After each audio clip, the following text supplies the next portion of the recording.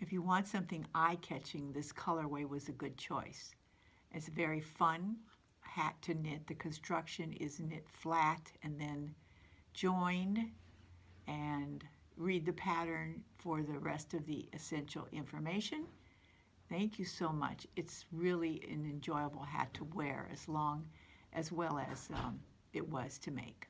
Thank you. Have a really good day. Bye.